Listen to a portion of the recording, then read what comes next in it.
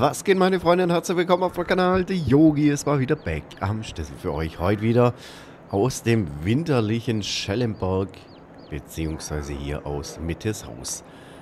Ja, ähm, willkommen zu einer weiteren Folge, zu weiterem Let's Test. Und wir wollen uns heute wieder ein bisschen was annehmen. Ich bin einmal schlafen gegangen und wie ihr seht, sind wir nun im Dezember angekommen. Und auch hier wollen wir na klar auch sehen, idealerweise, wie die Straßenverhältnisse so werden, wenn es schneit. Ich spule noch so ein bisschen vor, damit es ein bisschen heller wird, damit ihr auch ordentlich was seht. So, machen wir langsam. Gehen wir rein. Wir haben heute wieder ein bisschen was auf unserer To-Do-Liste und das allererste wird sein, wir brauchen den Manitou. So, einmal einsteigen. Und dann können wir losfahren. Konsole an, ja. Gemütlich nein. Gemütlich nein. Ähm, wir brauchen die zweite Stufe für den Frontlader. Ein bisschen Licht an. Handbremse. Da muss schaffen wie Rundlänge. so. Wir holen uns ganz kurz mal eine Palette ähm, Butter. Ihr seht, es ist wieder bisschen was gespawnt. Auch ein bisschen Eier sind da. Also du hast ein richtig, richtig schönes Geschäft hier an dem kleinen Hof. Muss ich sagen, gefällt mir super, super. Ähm, es ist, ja, eigentlich maßgeschneidert für mich. Ich habe es ja schon mal erwähnt, dass ich sehr, sehr gerne so die Hofarbeiten mache. Mehr mag, wie wenn ich auf dem Feld bin. So.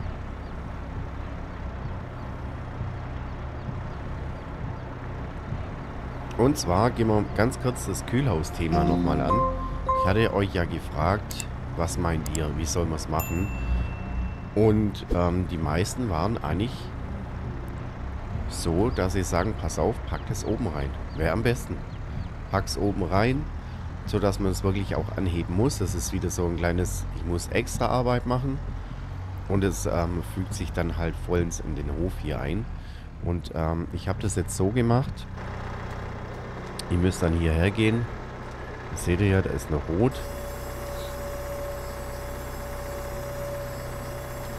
Schaltet auf grün um. Und dann könnt ihr das hier oben hinpacken. Und ich habe es na klar so gemacht, dass wenn ihr hier oben hinfahrt, der Trigger sitzt schon innen drin, also ihr müsst schon so ein bisschen nachfahren. Damit es dann auch ordentlich eingelagert wird. So. Ich hoffe, ich kriege das jetzt hin. Ansonsten ist es direkt Vorführeffekt. So.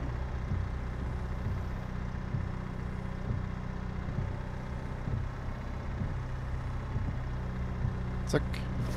Und schon ist sie eingelagert. Finde ich eigentlich ganz nett, ganz geschmackt.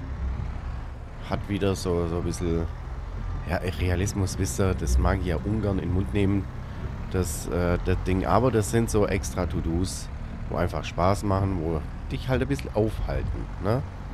Und ich gerade gerade durch solche Geschichten finde ich halt auch, kannst du so einen Hof auch gut und gar nicht zu zweit spielen, weil du hast halt hier wirklich ein bisschen was zu tun. Gut. Ähm, dann machen wir folgendes. Ich setze mir jetzt den Trigger mal ganz kurz hierher, denn wir kümmern uns heute mal noch ganz kurz um die Weide draußen. Und zwar habt ihr mir da geschrieben, beziehungsweise der Krummi hat mir geschrieben, Grüße gehen raus an der Stelle. Mein Yogi, ich kenne es so, dass die Weiden nach dem, äh, nach dem Weiden gemulcht werden. Durch die Kuhfladen wäre das Futter sonst verschmutzt. Danke dir erstmal für deinen Kommentar an der Stelle. Ähm, jetzt muss ich mal schauen, wo wir einen Mulcher haben. Vermutlich unter M wie Mulcher. Miststreuer, Mulcher, da ist das schon. Und ich würde mir da einen relativ ja, einen günstigen, weil wir wollen es ja nur antesten. Ich würde mal sagen, wir nehmen den hier.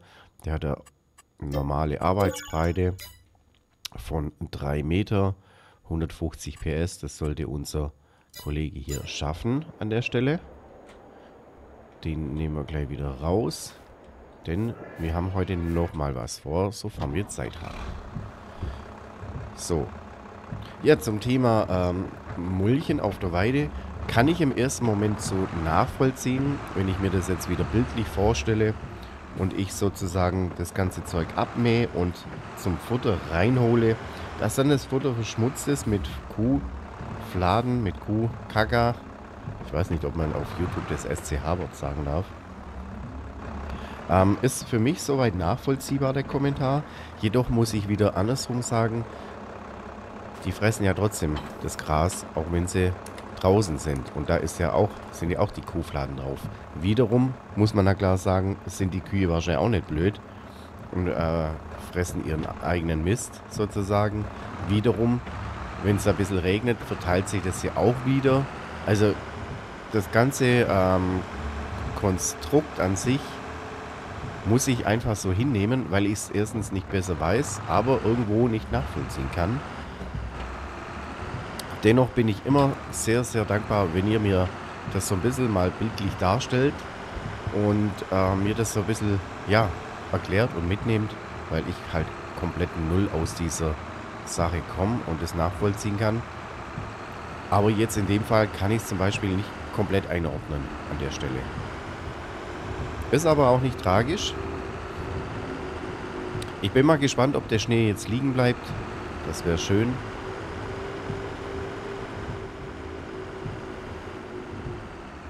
So, und dann dürfen wir nämlich hier rein.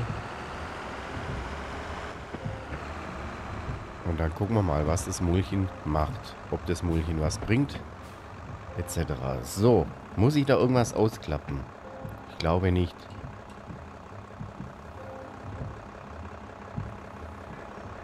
Angeschlossen haben wir es eigentlich. Ja. Lass mir mal gucken. Ich habe noch nie mit dem Ding gearbeitet. Okay, das war's dann nur schon. Einfach an und los geht's.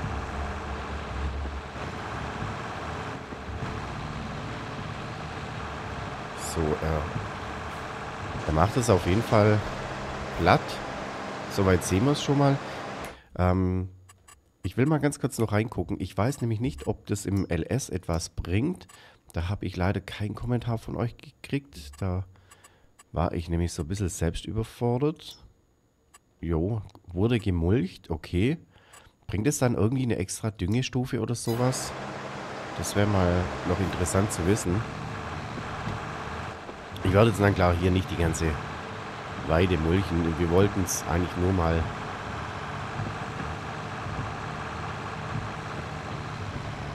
ein bisschen testen. Okay, aber so schnell kannst du da auch nicht mulchen. Da war auch noch ein ganz, ganz interessanter Kommentar. Und ich konnte den auch nachvollziehen. Ich kriege ihn bloß nicht mehr hundertprozentig zusammen. Ähm, da ging es darum, dass man Weiden, glaube ich, nach fünf Jahren einmal komplett umstürzen muss, weil es sonst so Grünfläche wird und du das dann immer als Weide nutzen musst und sonst nicht mehr anderweitig bepflanzen darfst. Also ich glaube, das ist auch wieder so eine hirnrissige Regierungs... Wir müssen irgendwas machen, um die Bauern das schwer zu machen, äh, Thematik ist. Zumindest klingt es für mich als Laie so. Ähm, aber ansonsten, ja, das konnte ich zumindest inhaltlich nachvollziehen, was da passiert. Deswegen auch hier danke für den Kommentar.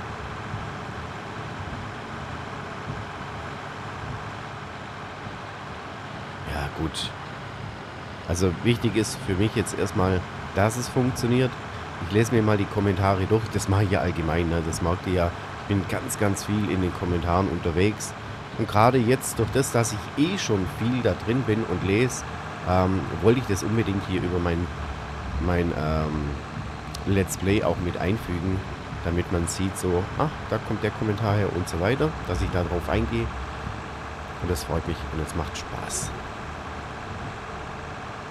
So, wir haben aber auf jeden Fall noch was zu tun.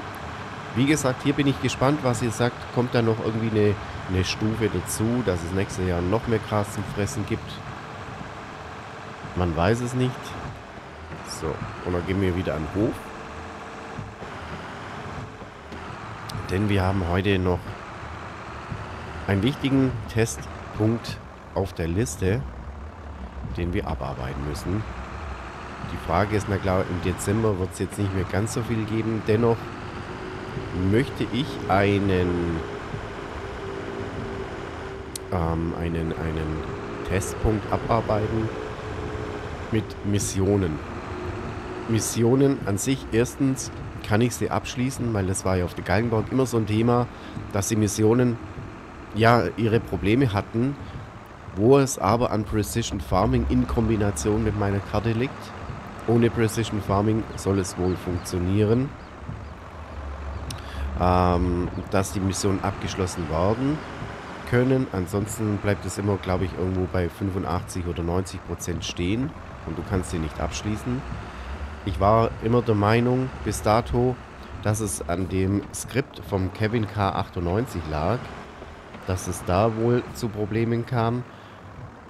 Ich habe mir aber gesagt, nee, nee, nee, nee, so ist es nicht. Wenn wir Precision Farming deaktivieren, dann hast du das Problem nämlich nicht. Also wenn da einer gute Erfahrungen hat damit, immer her damit. Gerne nochmal ein kleines Feedback geben. Wir werden uns jetzt aber das Ganze mal hier anschauen. Ja, das sieht auf jeden Fall, also nicht gut aus, aber sieht gut aus. Wir wollen mal ganz kurz zum Händler runter. Händler müsste noch offen haben, jawohl. Beziehungsweise noch, wir haben ja frischer Tag, aber weil es so dunkel ist. So, ähm, lasst uns mal reingucken, ob wir einen Auftrag haben. Wo war denn das Auftragsfenster? Das hier war's. Oh, wir haben nur ein Feld grubbern. Ouch.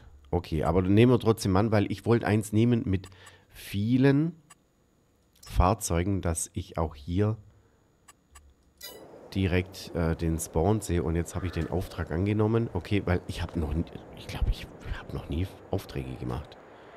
Ich habe noch nie Aufträge gemacht hier im LS22. Und ich wollte mir eigentlich hier die Fahrzeuge jetzt bauen lassen, aber ich muss auf Geräte ausleihen. Ich dulli. Okay. Ähm, wie machen wir das am geschicktesten? Dann würde ich sagen, ich speichere einmal das Spiel, denn wir sind jetzt bei Minute 13, so roundabout. Dann machen wir es doch so, wir machen hier Save Game aus, weil ich will mir jetzt na klar nicht meinen Spielstand zerstören. So, und dann machen wir folgendes. Jetzt sagen wir einfach mal, wir spawnen uns hier ein paar Fahrzeuge. Und zwar, ganz wichtig finde ich, machen wir mal Drescher. Drescher sind nämlich die größten. Ähm, ja, welcher läuft denn am meisten beim Auftrag? Ich glaube so einer. Machen wir mal Mieten. Dann kommt dazu der hier.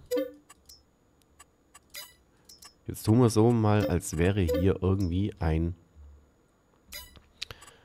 ähm, ein, ein, ein Trash-Auftrag drin. Dann kommt noch ein Anhänger dazu. Das ist, glaube ich, meistens der hier.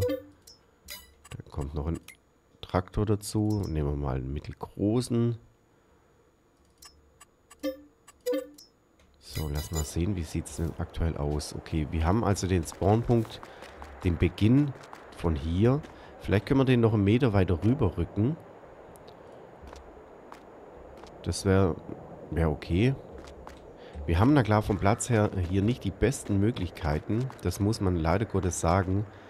Aber das haben wir immer wieder. Und ich mag einfach nicht diese riesen Flächen.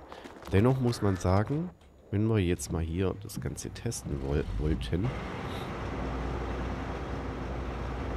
Lass uns das mal kurz anschauen. Wir gehen eine Stufe zurück. Ich finde ja, das Schwierigste ist immer das Schneidwerk. Alles andere geht eigentlich. Da kommst du eigentlich relativ human hin. Das Schlimmste ist eigentlich eher immer das Schneidwerk. Vorteil aber hier ist eigentlich, du hast einen relativ wendigen Drescher. Ansonsten müsstet ihr hier halt einfach ein bisschen das Ganze nachschieben. Das war zu gut gemeint, ne? Ja. Also ich würde jetzt in, in meinem jugendlichen Leichtsinn behaupten, ich lasse es mal so, denn du hast öfters andere Anbaugeräte, Schrägstrich Anhänger, ja, jetzt machen wir hier ein 360, ähm, wo du anhängen möchtest und ankuppeln, wo du dann doch eher wo du dann doch eher hier hin musst, anstatt von hinten her. Und hier vorne haben wir auf jeden Fall nochmal zwei, drei Meter mehr Platz wie hinten. Ich glaube, das würde ich erstmal so lassen. Ich habe das so erledigt, dass... Gut, wir haben jetzt hier im Endeffekt alles schon zum Dreschen. Vielleicht kommt da noch ein Gewicht und so weiter dazu. Ihr seht aber, wir haben hier noch ein paar Meter Platz. Sollte also kein Problem sein. Ähm, den zweiten Spawnpunkt habe ich, glaube ich, hier draußen hingelegt. Auf die Seite hier, so ungefähr an der Straße. Ich glaube nicht mehr, dass ich den hier hin hatte. Weil hier war es ein bisschen zu eng. Also da dürft ihr euch auf jeden Fall nicht beirren lassen. Gut, Freunde, dann würde ich sagen, Test erfolgreich. Müssen wir mal schauen, wie wir da weitermachen. Ich würde sagen, für heute beenden wir mal das Ganze. Wir kommen gut voran. Ich möchte behaupten, wir sind so weit mit dem Hof 1 fertig. Ich möchte aber ungern aufhören auf dem Hof 1, äh, auf dem Hof Mitteshausen. Aber wir wollen dann, na klar, weiter auf den Hof 1 gehen. Den werden wir, sofern alles gut läuft, heute Abend im Stream fertig bekommen. Schaut gerne vorbei helft tatkräftig mit. Ein bisschen ähm, Anregungen, ne, Dekoration und so weiter. Da kann ich euch immer gebrauchen. Da gehe ich immer drauf ein. Und dann würde ich sagen, sehen wir uns heute Abend im Stream. Ein Like, ein Abole würde mich sehr freuen und unterstützt mich. Und in dem Sinn, habt ein schönes Bergfest. Bis dann, euer Yogi. Ciao.